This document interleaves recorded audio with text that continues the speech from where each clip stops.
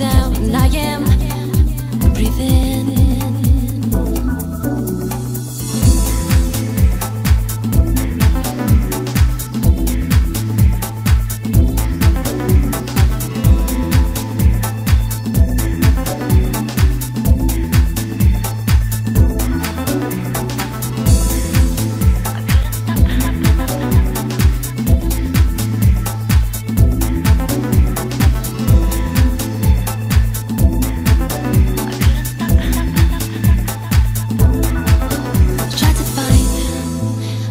you to open up, to share your mind. But you taught things in me I never knew possible. But now I find a peace of mind that I can take.